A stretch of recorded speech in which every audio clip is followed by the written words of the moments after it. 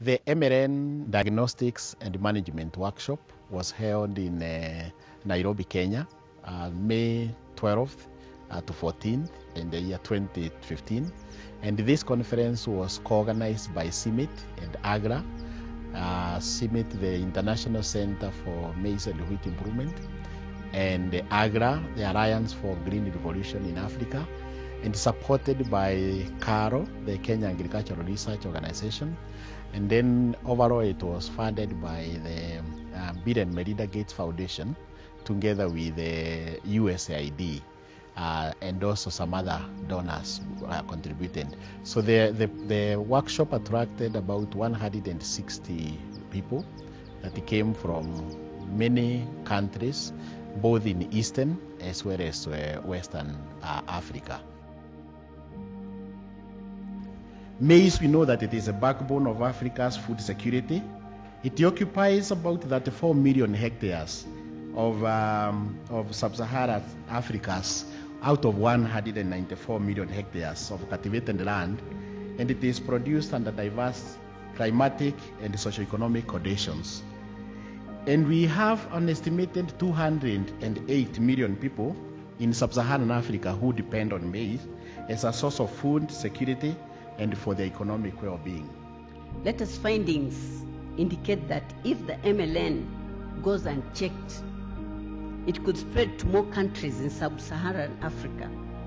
Already, we know that it is devastating maize crops in Kenya, Uganda, Tanzania, DR Congo, South Sudan, and Ethiopia. The problem that we're dealing with is of great concern to the Bill and Melinda Gates Foundation, to USAID, to Syngenta Foundation, other donors who have invested heavily in uh, uh, maize research in the region uh, to develop um, hybrids and varieties that are uh, adapted to the conditions, circumstances, and needs of African farmers.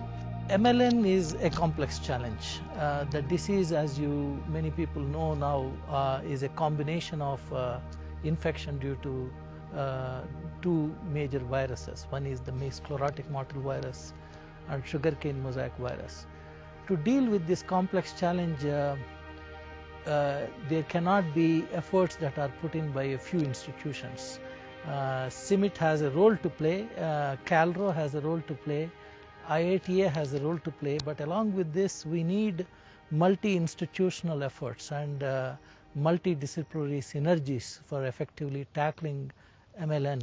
Uh, what CIMMYT is doing uh, through this conference along with AGRA is to discuss all these important uh, range of topics uh, that are uh, need to be implemented on a uh, intensive drive in the coming months so that MLN management is very effectively done by partners and by farmers and stakeholders within sub-Saharan Africa.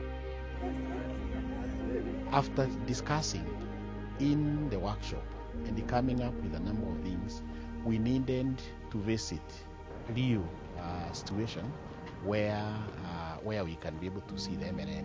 So a trip was organized to the Naivasha, uh, where and KALRO, together with others, have set up a screening facility.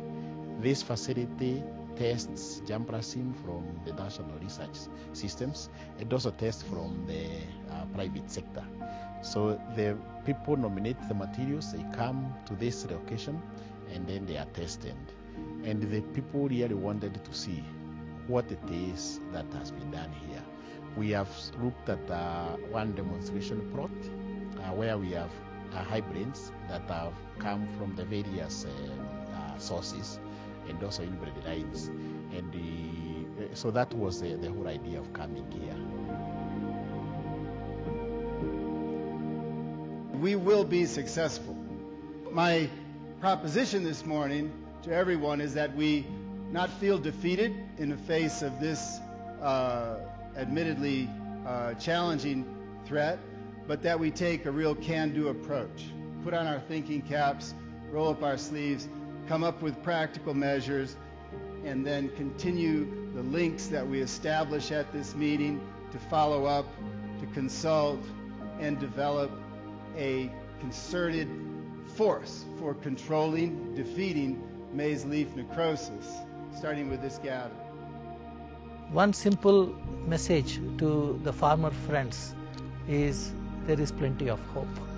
Uh, amidst despair, amidst uh, uh, the devastation caused by MLN in East Africa, uh, our simple message to the farming community is there is lot of hope.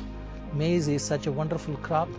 Uh, there is plenty of genetic variability in maize, and institutions like CIMMYT, along with other partner institutions, are very intensively engaged uh, right now uh, in developing MLN tolerant maize hybrids and varieties that can be scaled up and given to the farming communities.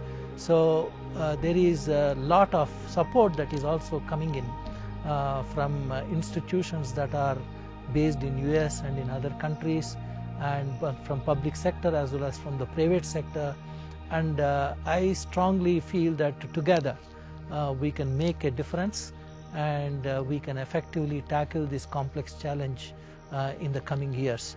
So hope, hope and hope. Uh, that's what my simplest message to the farming communities is.